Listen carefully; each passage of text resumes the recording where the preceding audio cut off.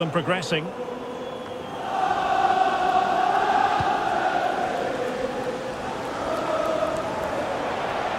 Mohamed Salah now. Oh, burying them beneath an avalanche of goals. No let up here.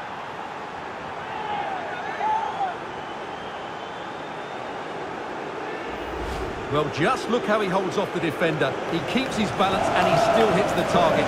What a good goal that is.